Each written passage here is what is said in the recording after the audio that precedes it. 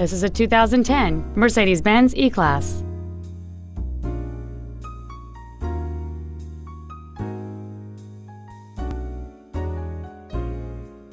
All of the following features are included. A low tire pressure indicator, a power passenger seat, cruise control, the tele-aid system, dual airbags, air conditioning, full power accessories, a rear window defroster, and a sunroof enables you to fill the cabin with fresh air at the push of a button.